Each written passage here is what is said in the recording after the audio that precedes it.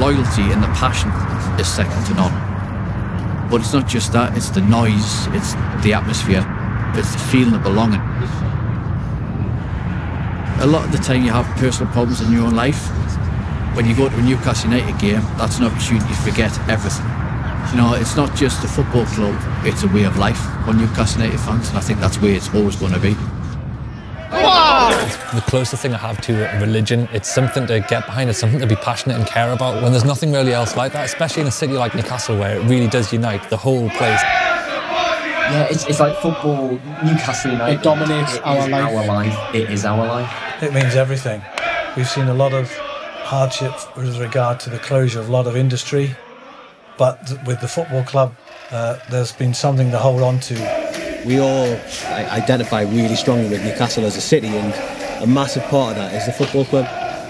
Without it, you wonder what we do on the weekends. I can't conceive of Newcastle without Newcastle United. It's the centre, it's the beating heart of Newcastle. The love that you've got for the club, it's like a second wife. And sometimes you need to kick your first wife out, have that second wife. You know, it's quite emotional even talking about it, really. It's almost like a drug. Newcastle United means everything to me. It's Newcastle United, you can guarantee whatever you think is going to happen, won't.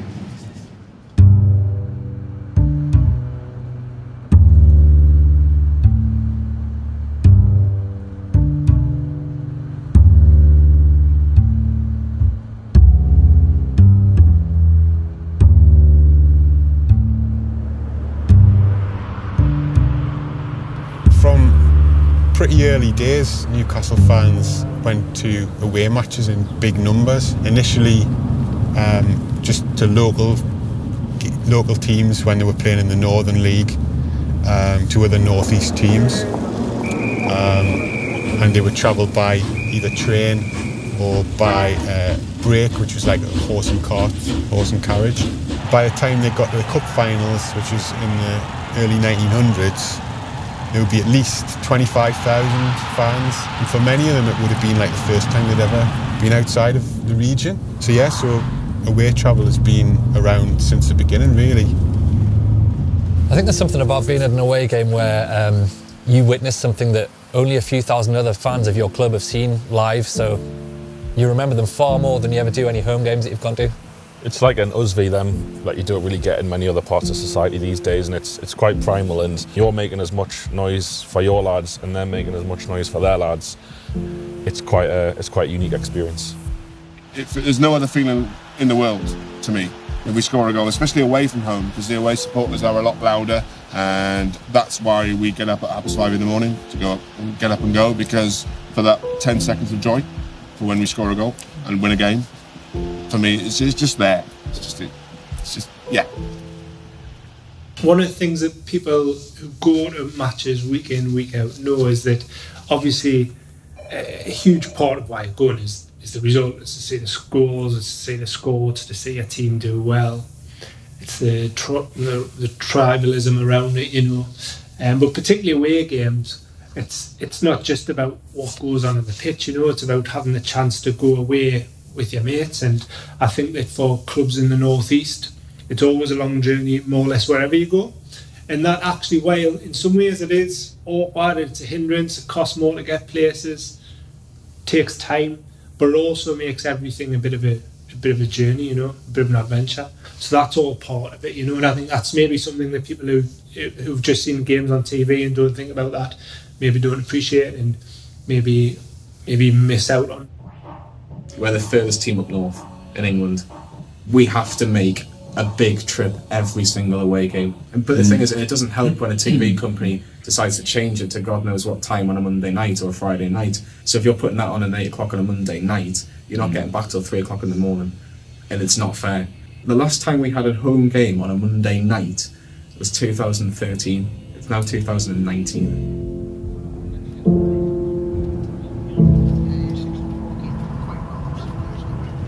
Today we're off to Wolverhampton Wanderers. You know, it's, a pretty middle of the road journey. Tony, what time do you think we should be back in Newcastle for tonight? Uh, hopefully quarter to three. The coach left St James Park at 12 o'clock lunchtime. Um, so it is obviously, it is tiring, it's, it's a long journey.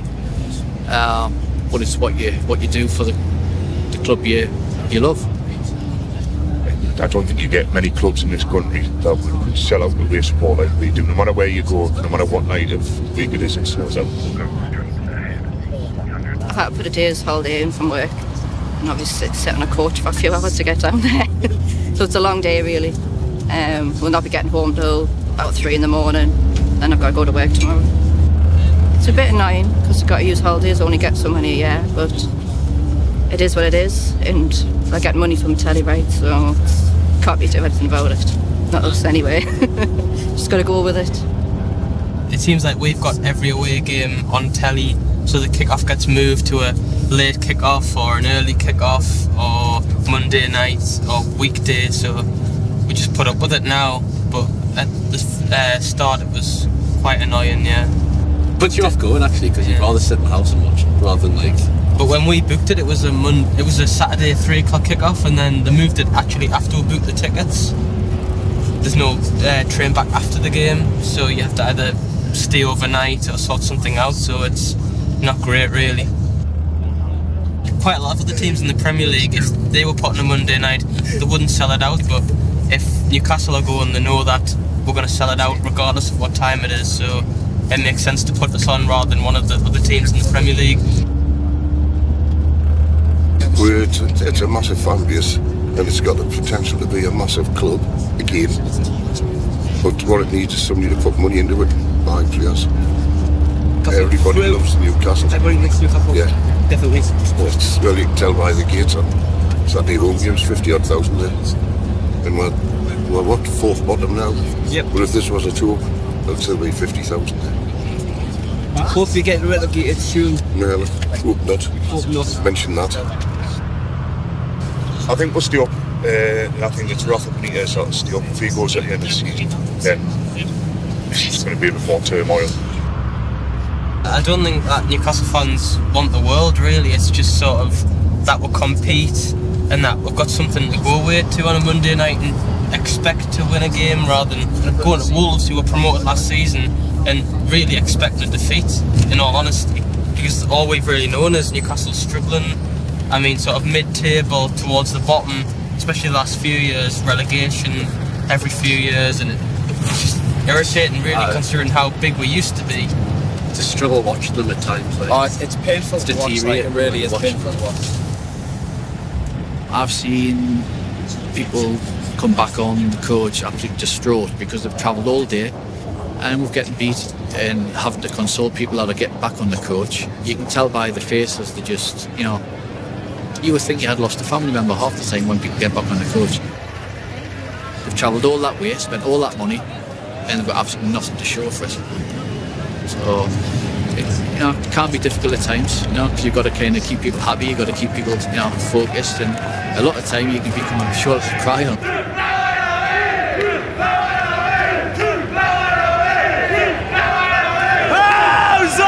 In I said, team on top? I'm playing black white, oh, you're all fine. Where's the point you ever more? Up the bands!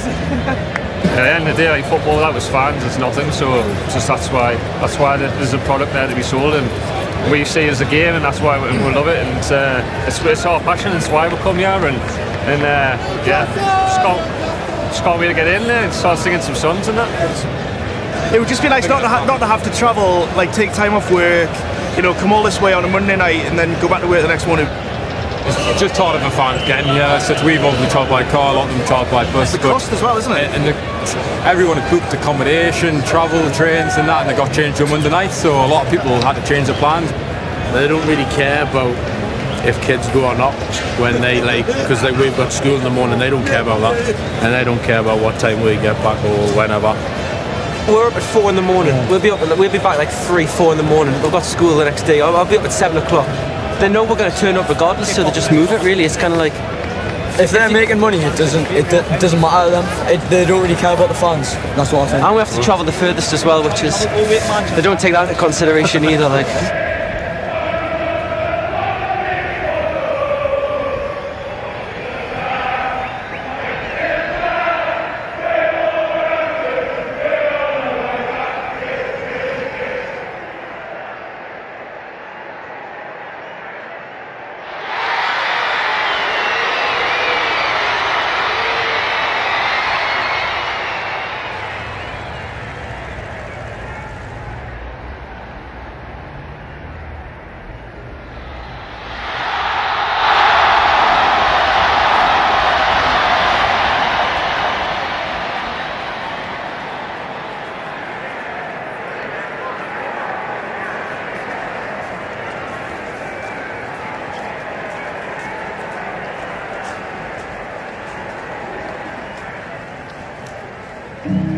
can it's a little bit despondent on the coach at the moment.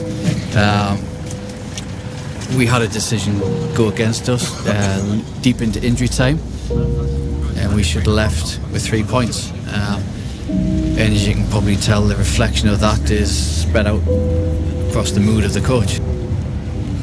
This happens all the time when we travel long distances and we come away and we get beat when it's a bit quiet.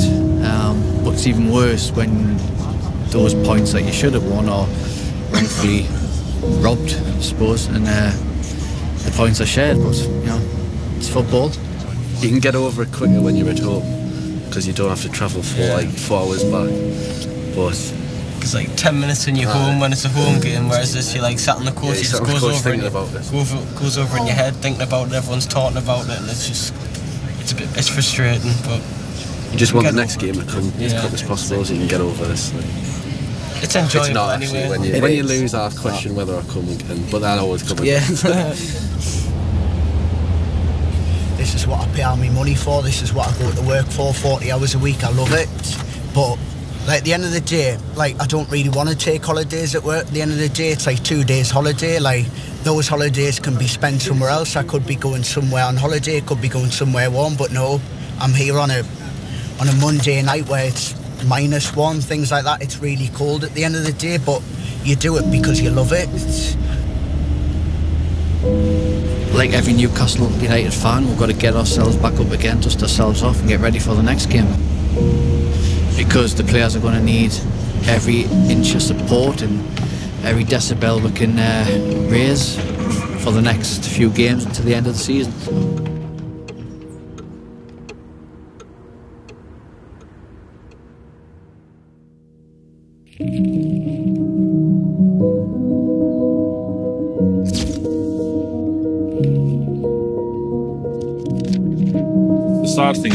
Is that rubbish. It's fine to lose track of that in the emotion of being, like you say, in the relegations, and then you pull out three or four games. Newcastle or rubbish. We, we don't have many shots. We don't score many goals. We'll have a negative goal difference. We're not we're, class. we're one of the worst teams in the league, and it's very sad because I think Newcastle will be rubbish next season, and it's quite it's, it's a shame because there's no need for it, and it affects a lot of people very negatively. Bleak as usual, scrapping for relegation, you know, yo-yo club. um, I just think we haven't really got much future. It'd be nice to win a cup because obviously we haven't won a cup for 50 odd years. So, but I don't really know. It's it's uncertain at the moment. Uh, I think you know what happens when you get relegated when when you do fall out of the Premier League is people will feel a bit down. You know, I don't know. Um, there's never been any studies, but you'd imagine productivity might suffer a little bit in the sort of short term with the emotional drain. I'm, I'm sure it does. Um, Newcastle win, you go in, you know, you're in a great mood. You graft a bit harder, maybe. Newcastle lose, you just haven't got the energy, you know. More than that, I just think it, it brings in investment when the team's doing well. It brings obviously attention to, to the city and it raises the profile of the city, so you're more likely to get people coming here, businesses and workers and that sort of thing. I defy anyone to walk into a place of work in Newcastle on a Monday morning and not have someone say, see the match? And it's the same on a Friday, like, how do you think we'll get on this weekend? It's it's the last thing you think about before you leave work for the weekend. It's the first thing you're talking about when you come back on the Monday. And it's just, I don't know if it's like that anywhere else. I really feel like that's very unique to Newcastle, how far spread the involvement in the football club is. Football is a big part of the economy, particularly in parts of the UK where maybe other economic activity isn't as developed. And I think, you know, in some, particularly the small post-industrial towns of the north and the Midlands, it's a really core plank uh, of the economy. And if you look at Newcastle, you see very similar things. And actually, I would argue probably just from the numbers we've seen, disproportionately football is more important in Newcastle than in most cities in the UK, both economically and as part of the social fabric. One of the reasons why football has so much importance in Newcastle is because it's part of the you know the working class culture that we've all grown up and with. And you have to you know these clubs you know came from work you know often from works teams you know 100 whatever years ago, and it's so ingrained as part of working class culture, which we see elsewhere being lost um, many aspects of it, the industry which often supported it, has gone and is changing. Yeah, I think that the fortunes of the club are probably quite closely linked to the, the, the fortunes of the city. For example, the Kevin Keegan era, so early 90s entertainers team, when Newcastle were at the top of the Premier League. It was like a real boom time for the city. It seemed like everything was being regenerated, the quayside was regenerated, and everyone just seemed to have a spring in their step. Newcastle were winning almost every week. The vision in the city was completely different. Suddenly it was the sky's the limit. You know, we went from being a, a laughing stock in the second division to, you know, getting into Europe and going all around Europe and challenging the cups, almost winning the league in 1996, coming close in 1997, getting in the Champions League. Since then, basically for us, for the majority of our football supporting lives, it's just been a club that's underachieved and I hate the cliche that Newcastle fans want titles and expect to be top of the league. That's not true. We want a club that tries and we just want a club that wants to be better than it was the, the year before. And it, it hasn't been that for such a long time that as Newcastle fans, that's probably the main issue we face. I do think we deserve more. yeah, exactly. Just, uh, couldn't disagree more. You Newcastle should be, you know, top six, in my opinion. That's the potential it's got.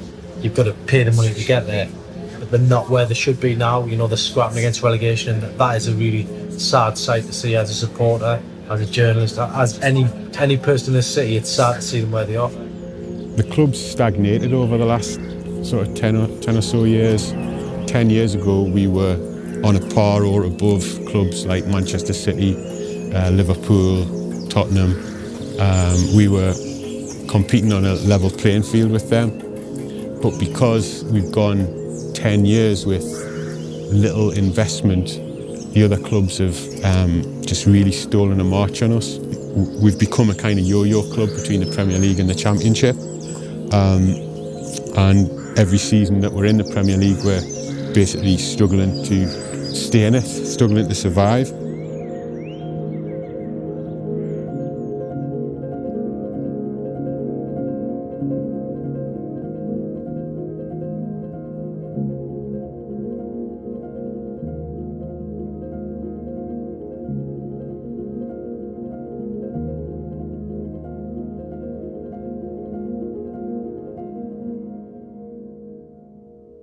This is a club that's won, you know, the FA Cup sort of six times and the, you know, the old First Division four times. So fans would probably say, not sure they are successful, but but I think, firstly, you have to look at the the kind of commercial side of the game, and probably if Newcastle are in the top 10, top eight of the Premier League, that's kind of where their economic model would suggest they should be. You know, 50,000 crowds gets you there, but actually, you look at sort of the, the bit top six, if we like, at the moment in the Premier League, their finances are still a level up from, from Newcastle's. And we know that wage bills drive success over the long run in football. You know, Newcastle's turnover last season was 178 million pounds, and 24 million pounds of that came on match day. So you can only do so much, even with what the fans have put in. If you have the TV appeal of Manchester United or Liverpool, you've always got an income stream that's going to make it hard, even for a club like Newcastle, to compete.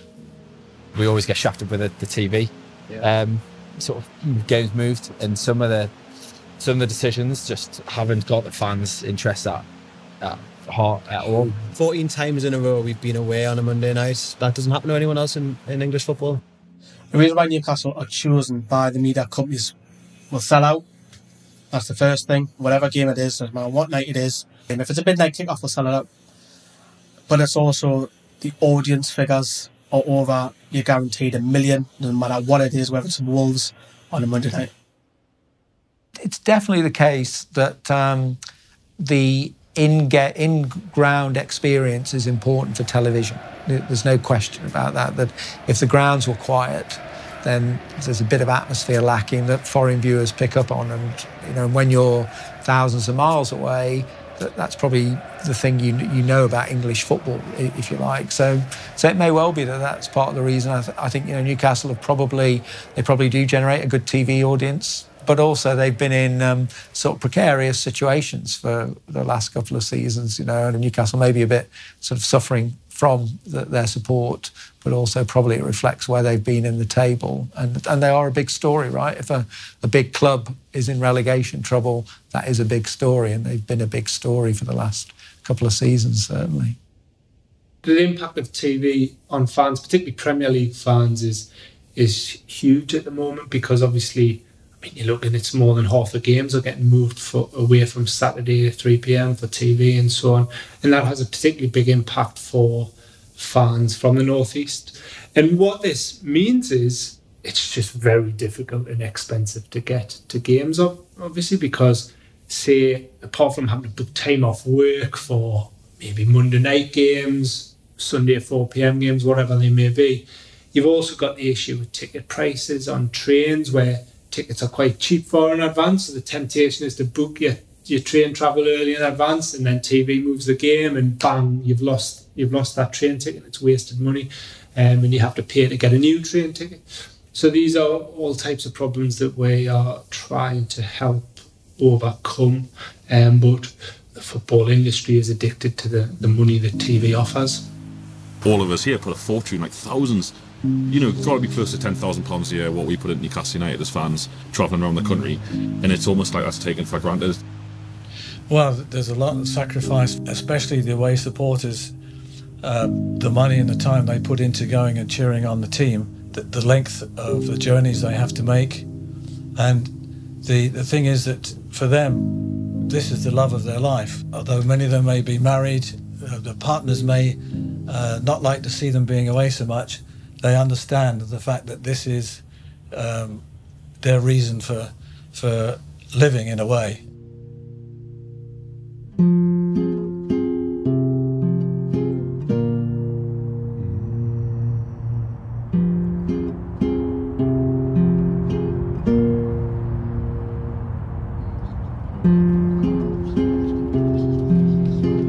Uh, well, today's journey, um, we left uh, St Park at 7am this morning. Um, I've personally been up since 5am, so it was an early start for me. By the time we get back, we've probably covered, what, nearly 700 miles in total. Um, so it is going to be a long day. Um, by the time I get back, I'll it's probably looking at 5am. So start to finish, it's been probably a 24 hour journey. It's the longest trip the Premier League, won. That's as simple as that, really. It's uh, not many people can do it.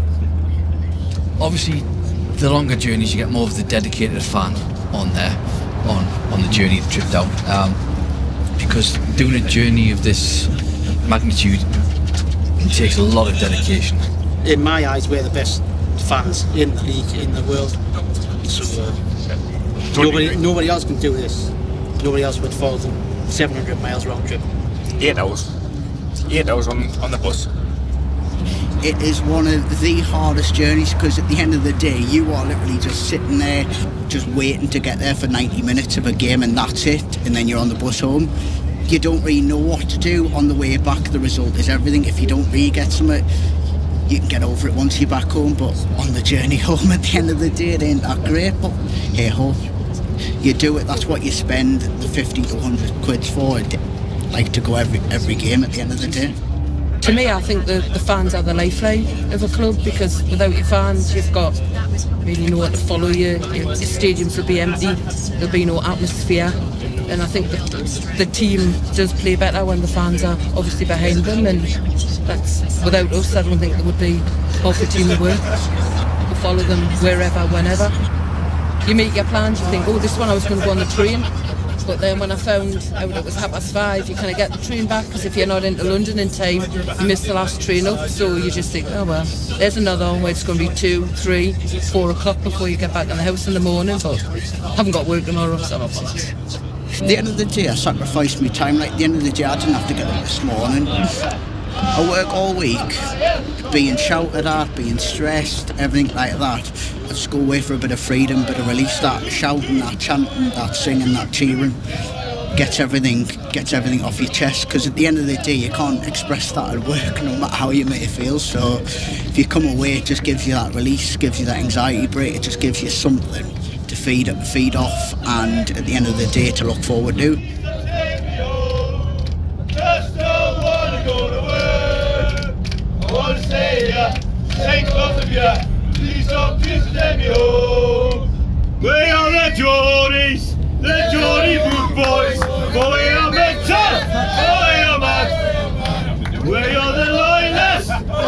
Supporters. The world has ever had. We are the Geordies, the Geordie Boot Boys.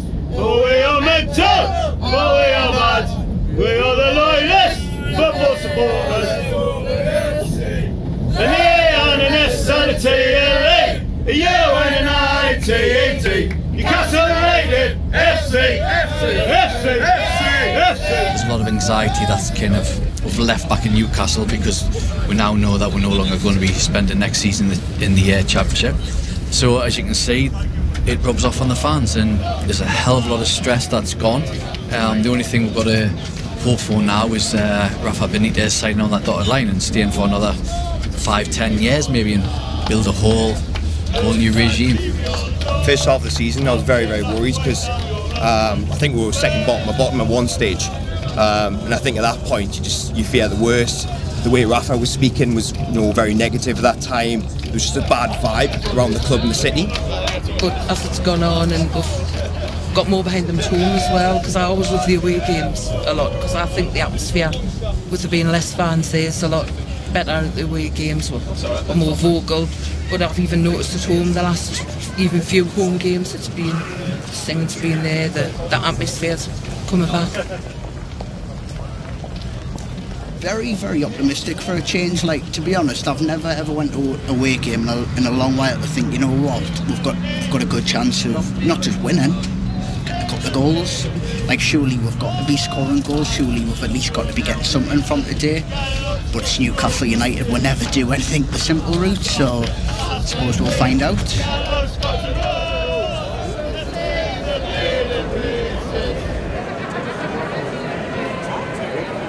Uh, we are all the way from Malaysia to uh, join to watch this match, and we take uh, about uh, 40 hours flight to come over here. It's a dream. It's a dream. Yeah, because I I I love I start loving Newcastle is because at Alan Shearer, and that was like 20 years ago. Maybe it's a time I have to travel to to Brighton and to make my dream happen. Maybe more than love more than me.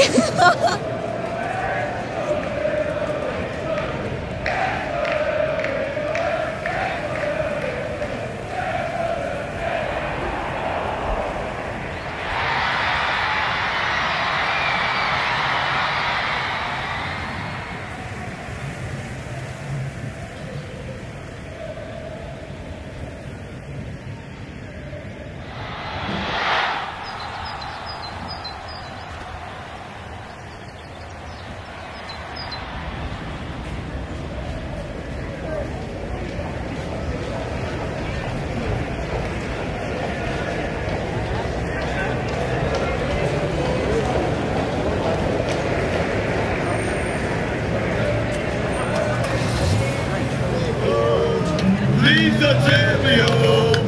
I just to go to work. To stay here, St. Lesbia. Please don't, please don't let me home. Take me home. Please don't take me home.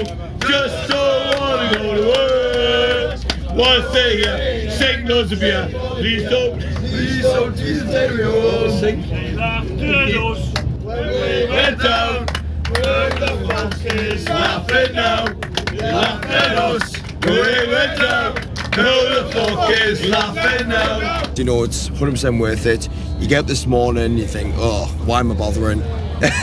but uh, once you get up, you know, you start getting yourself motivated for it. Yeah. You get in the bus, um, you know, a bit of a nap here and there, but I think once you get a, a couple of beers in you, you know, um, have a bit, of- bit of banter with a few people, um, just a massive part of the experience. I'm not going to say for one second the result doesn't matter because it does. But at the same time, like it's all about the day out. It's all about the day experience. People don't realise how important this is, like to like us in the northeast, like, you know, I mean, we love our football team, we really do, like, you know.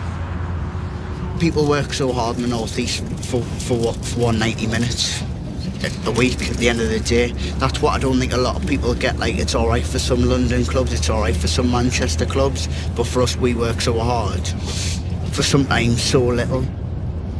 If you're a Newcastle supporter, you're just you're that daft or loyal, whatever you want to think. Like you would go wherever you can and you can afford to, and you've got time to do it. You do it. It's worth it, no matter win, lose, draw. It's the longest journey. It's passion, it's pride, it's belief. That's what Newcastle stand for.